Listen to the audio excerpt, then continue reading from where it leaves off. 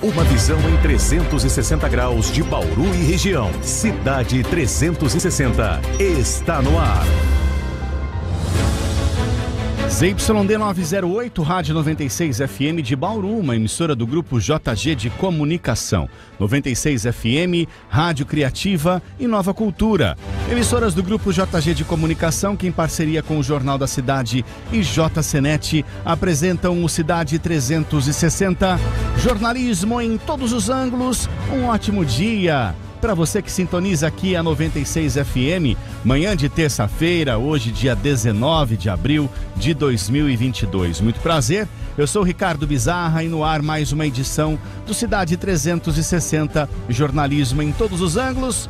Já estamos ao vivo, no rádio em 96,9 e também nas redes sociais em áudio e vídeo, Facebook e YouTube da 96 FM e do Jornal da Cidade.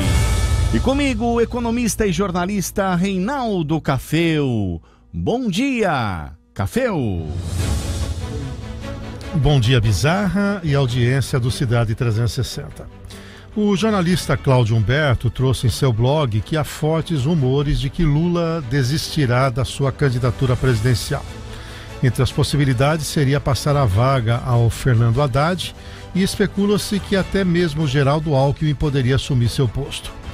Entre as justificativas para sua desistência estaria o fato de o eleitorado da classe média resistir a votar em Lula devido aos processos e das múltiplas acusações de corrupção, formação de quadrilha e tráfico de influência.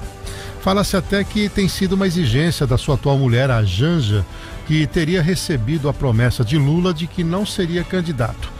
Neste particular, seria a oportunidade de, de não trabalhar mais, curtir a vida viajando, divertindo-se.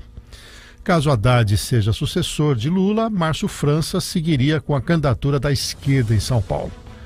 Lula deixará de concorrer? Somente o tempo dirá. Mas que aquele céu de brigadeiro que o PT imaginou ter, se colocando como um partido, e em especial como Lula, os ambos salvadores da pátria, isso não é mais realidade. As pesquisas, agora ajustadas a essa realidade, já apontam o crescimento de Bolsonaro e seria para Lula um desgaste enorme perder esta eleição, ainda mais depois de todo o movimento do Supremo em lhe dar legitimidade para concorrer. Inclusive, a militância do PT já exige de Lula um tom mais ameno em seu discurso. Por sinal, Lula perdeu muitos votos sendo favorável ao aborto, de querer censurar a mídia, depois de atacar a classe média sugerindo um limite de consumo, de incitar a CUT a perseguir parlamentares e que ainda pretende exonerar 8 mil militares, que defende empréstimos do BNDES à Venezuela e sugere ainda que resolveria a invasão da Ucrânia com a cerveja. E finalmente, naquilo que Lula se superou nos seus últimos pronunciamentos sugeriu inclusive que Deus é petista. Na prática, Lula se revela a cada dia. Aquele Lula paz e amor foi somente para chegar ao poder. Depois que conseguiu, teve que pagar a conta para os companheiros e aqueles que tinham mandatos eletivos. Transformou sua ascensão em projeto de poder. Para esse projeto, precisava de dinheiro para garantir financiamento desta intenção, que foi interrompido pela incompetência de Dilma Rousseff. Só não vê isso quem ama cegamente o descondenado Lula. Aqueles que, se Lula matar alguém, ainda irão defendê-lo. Com esses, não há como ter argumento. Ontem, o senador Humberto Costa e o próprio Lula desmentiram que ocorreria a desistência. O certo mesmo é que o cenário político de hoje não é o mesmo do cenário de três meses e certamente não será o mesmo no meio do ano.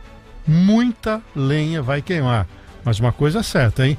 Lula muito provavelmente vai tirar seu time de campo. É questão de tempo. Vamos aguardar.